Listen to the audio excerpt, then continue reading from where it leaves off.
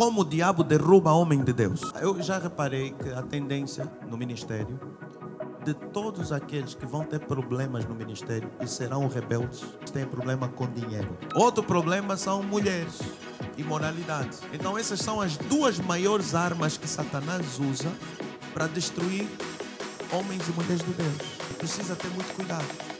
Se pastor está começando a dizer assim, me manda foto íntima. É. Piratas da fé. Pastor está a te pôr as mãos assim, de repente escorregou, põe na tua bunda. É. Piratas da fé. É só para complementar, que nem tudo que a terra aplaude, o céu aplaude, né? Todo mundo já ouviu essa frase por aí. Temos que ter cuidado, porque eloquência, tem muita gente que sabe a Bíblia de frente para trás, de trás para frente, mas ela vive a Bíblia. Então, a pregação começa no culto, tem que continuar em casa, né? Os frutos. E vocês começam a ver uma pessoa que fala de Deus, mas fala mal do irmão, esse daí já é totalmente contrário ao que a Bíblia fala. Né? Pessoa que vai para a igreja, fala na igreja sobre o amor, sobre o perdão, mas vive rancorosa, com mágoa. Então você começa a analisar, né? Você tem que conhecer a palavra para não ser enganado pelos falsos.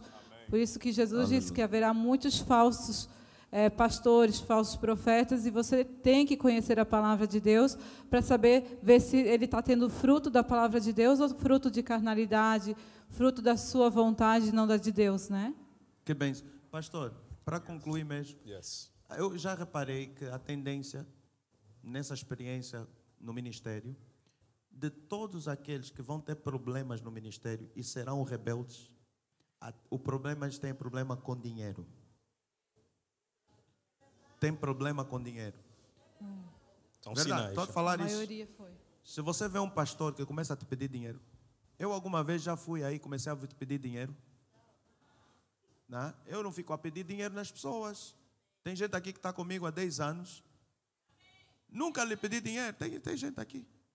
Então eu não fico a pedir dinheiro nas pessoas. As pessoas me abençoam se sentirem. Porque é Deus que me abençoa. Eu não vou exigir das pessoas me darem dinheiro. Entendeu? Então, você nota bem pastor que fica a pedir dinheiro. Líder ou obreiro que fica a pedir dinheiro. Precisa de dinheiro para isso. Precisa de dinheiro para aquilo. Não quer dizer que você não pode abençoar um pastor. Você pode. Mas cuidado com aquele que fica a te pedir dinheiro. Essa pessoa que fica, todos eles, que tiveram problema no nosso ministério, que se rebelaram, tinham problemas de dinheiro, ficavam a pedir dinheiro às escondidas nas ovelhas. Só queriam saber de dinheiro. Outro problema são mulheres. Imoralidade. Então, essas são as duas maiores armas que Satanás usa para destruir homens e mulheres de Deus. E precisa ter muito cuidado. Se pastor está começando a dizer assim, me manda foto íntima. É. Se pastor está a te pôr as mãos assim, de repente escorregou, põe na tua bunda. Fala tudo, profeta. Fala, denuncia. Denuncie, denuncie. É Tem verdade. que denunciar. Não pode ficar assim, ah, não, eu não vou me meter, eu não sou não sou fofoqueiro. Eu, você está compartilhando com coisa errada. Tem que denunciar. Entendeu? Então, se o pastor começa a dizer assim, você, olha, recebi uma revelação.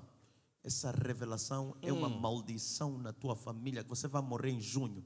E se você não fizer, tens quantos anos? Ah, eu tenho 43. Ok. Você vai ter que dar 43. Mil quantos? 43 mil quantos? Vai dizer assim: você tem que dar é, um dinheiro. Talvez vai te falar assim: 7.043 dólares. Ou 7, vai começar a dizer assim: que para você ser liberto, você tem que pagar. E vai começar a exigir de você e vai dizer: olha, não fala nada a ninguém, não pode falar no profeta, não pode falar nos pastores. E ficam aqui, tem gente que entra aqui, a caça dos incautos, a caça dos, dos que são fracos na fé a caça daqueles, estão a caçar as pessoas ignorantes em relação aos assuntos espirituais. Então elas vêm e começam a esperam, vêm, ficam aí no canto. Olha, eu vi que você veio aqui, Deus me revelou. O profeta não te falou, mas eu estou a te falar. Você precisa fazer isso, isso, isso. Você tem que arranjar um, um saco de sal. Sim. você tem que comprar seis galinhas, tem que comprar cabrito. Depois vem aqui, vamos fazer um trabalho espiritual. Eu estou a falar de coisas que já fizeram com outras pessoas, que aqui É mesmo que eu verdade. já ouvi. Piratas da fé aqui. Vou te levar no monte, vamos fazer um trabalho. Vai ver, nossa- Yeah. vai ver. Hum. Depois lá no monte vai sair com trigêmeo. Uhum. Você está entendendo? Hum. Ou ele vai na tua casa, Tudo que se oculta é satânico. né, profeta? Tudo que se oculta ele entra é na tua satânico. casa, eis que Deus me diz que você tem que me dar esse sofá, Já aconteceu. Nós já tivemos um esse pastor carro que na garagem. revelação. Já tivemos pastor. revelação. Deus me disse que você tem que dar o sofá, tem que dar o carro, tem que dar isso. Tens que me dar a mim. Che, Denuncia. Denuncia, isso é Denuncia. crime. Isso é crime. Denuncia, tá, tá entendendo? Denuncia. Posso ouvir um glória a Deus? Amém. Ok, Tenho aqui uma pergunta, pai. sim. Pergunta, por favor. Profeta da nação, é, é o seguinte: Jesus disse que aquele que me buscar de madrugada me achará.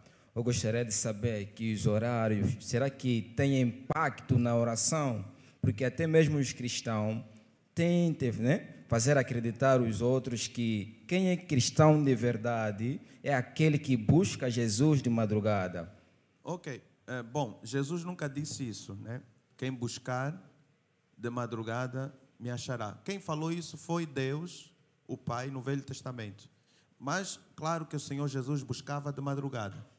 É, porém, Jesus vai conversar com a mulher samaritana, lá em João capítulo, capítulo 3, capítulo 4, fala sobre a conversa de Jesus com a mulher samaritana. E eles entraram, Jesus vai profetizar para ela, diz, chama o teu marido. Ela disse, não tenho marido. Ele disse, tiveste cinco, o que tens agora não é teu.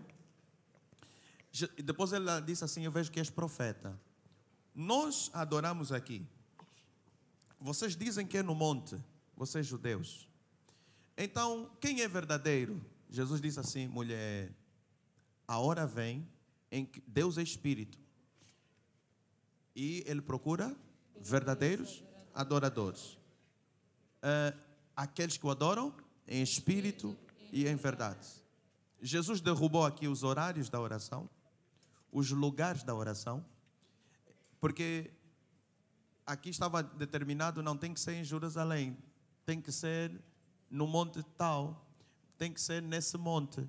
Jesus disse assim: nem em Jerusalém, nem aqui, porque Deus é espírito e procura verdadeiros adoradores. Orar de madrugada é bênção, vai te fazer bem, mas orar de manhã também é bênção. Orar de tarde também é bênção.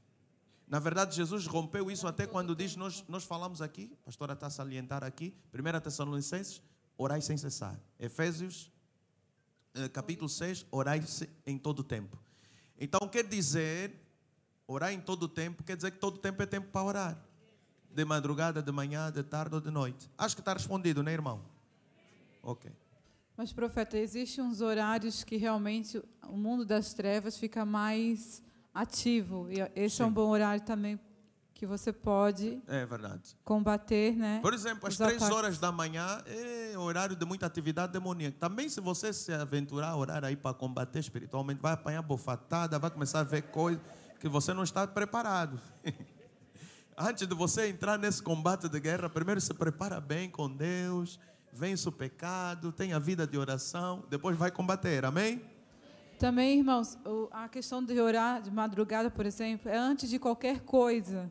Então, geralmente, horário de madrugada que, por exemplo, Jesus ele se retirava das multidões, né? E subia um monte ou ia para um lugar reservado, onde ele pudesse ter, de fato, é, ali calmaria, tranquilidade, tempo com consistência com, com o Pai, com o Criador. Então, geralmente, a gente tem que procurar um horário favorável, onde você não vai ter entraves para orar. Geralmente, isso é de madrugada, onde todo mundo está dormindo, não tem barulho, antes de sair para o trabalho. Por isso que muitos buscam orar de madrugada. Por isso é que está escrito, algumas traduções diz, quem de madrugada me busca, me achará. Outras traduções diz, quem cedo me busca, me achará. Cedo quer dizer primeira coisa, Antes de tudo. antes de tudo. E os judeus, eles fazem isso, né? A, é, a primeira coisa que eles fazem é sair da cama, se prostrar e se conectar com o Criador, apesar que eles não acreditam em Jesus, mas eles acreditam em Deus Criador. Então, é você é, entronizar a tua mente com a mente de Deus, Prioridade. para não se distrair com os próximos afazeres que vai começar a surgir no teu dia e não se contaminar com o mundo, com o pecado. Você Amém. vai estar revestido para vencer as tentações. Glória a Deus. Não tem mais perguntas? Tem? Ok. Pai do Senhor, igreja. Por causa do tempo, bem rápido. Por favor, pode falar? A a minha questão é que alguém que não anda em santidade, mas tem uma vida de oração, se pode ouvir uma mensagem vindo da parte de Deus. Ok, isso é uma boa pergunta. É a coisa mais perigosa que existe. Quando você não tem uma vida reta diante de Deus, mas você ora bastante. Já conheci pessoas assim. Normalmente essas pessoas são atormentadas. As- toda pessoa que ora bastante, mas não é correto com Deus, ou por exemplo, faz misturas de coisas que Deus diz para não fazer, está em adultério, está em fornicação, está a misturar feitiçaria com coisas, mas está a orar, está a orar, está a jejuar, está a buscar. Normalmente essas pessoas vão ser apresentadas a espíritos de engano, que vão se apresentar como de Deus. Essa pessoa vai começar a ter. normalmente essas pessoas têm muita visão, vê muita coisa, vê toda hora, vê demônio em todas as coisas. Demônio na porta, demônio na roupa, demônio no carro, demônio no copo d'água, demônio no. Vê demônio em tudo. Pessoa assim está perturbada.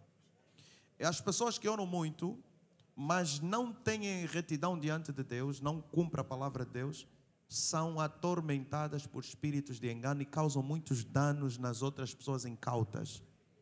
Vão causar muitos danos. Você vai pensar que é de Deus, afinal é demônio que está a falar através dele. Então é muito perigoso para você orar bastante se não tem uma vida correta com Deus. Porque a vida de oração sempre te incentivará em se acertar com Deus. Porque o Espírito de Deus vai te dizer: muda isso, filho, muda isso, filha, deixa de fazer isso. Mas se você continuar a insistir, orar, orar, orar, orar, não está ouvindo o Espírito Santo, agora demônio é que você vai ouvir. E demônio fala. Deu para entender? Outra pergunta bem rápido por causa do tempo. Paz do Senhor, Pai. Muita paz. Eu, eu queria saber como me posicionar quando, tipo, Deus não me ouça o que eu peço, por mais que eu ore. Sim.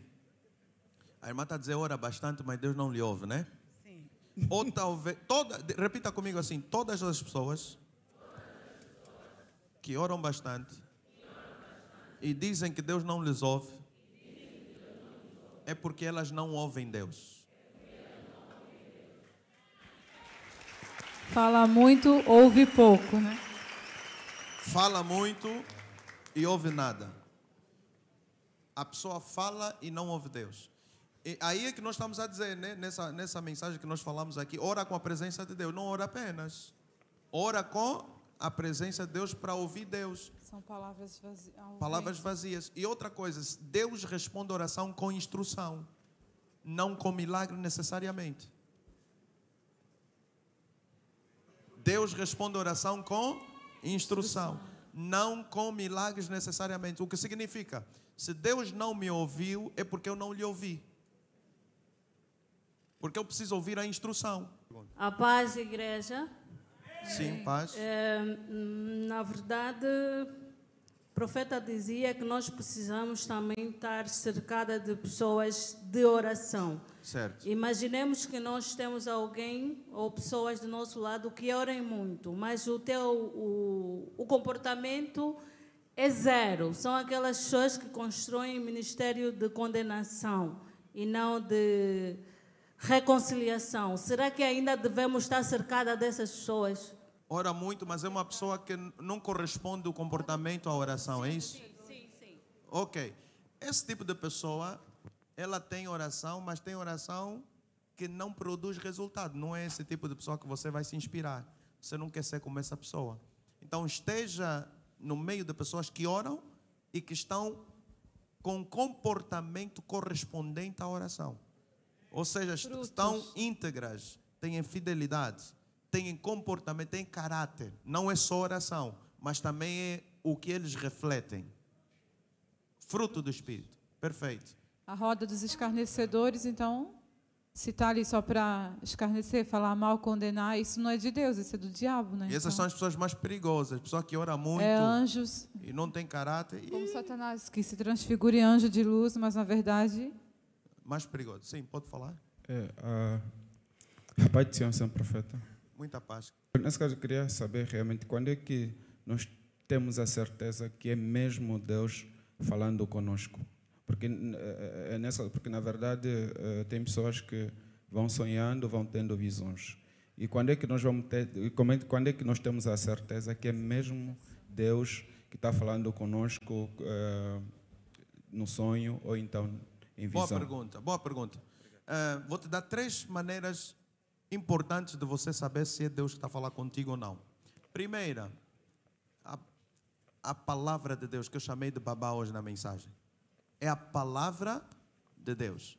Deus nunca vai te pedir algo que contradiz a palavra. Ok? Por exemplo, você está a orar para casar. Senhor, me dá marido, me dá marido, me dá marido, me dá marido, me dá marido, me dá esposa, me dá marido, me dá esposa. Você está a orar isso.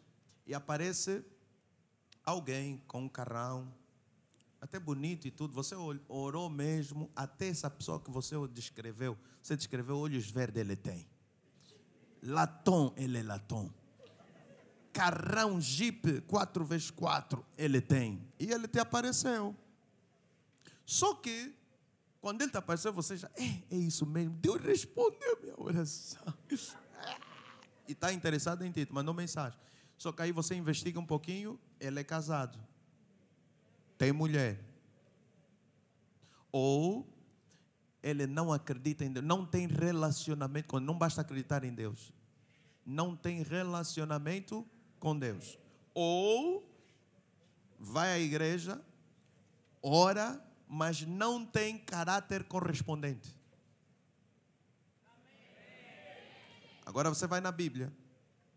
Vai lá na Bíblia, em Coríntios, no seu capítulo 7, vai falar sobre relacionamento com quem você deve casar. Está lá escrito. Está lá escrito. E a Bíblia diz assim: se você passou da flor da idade, não peca. Quer dizer, já está sair cabelo branco, Deus, por favor.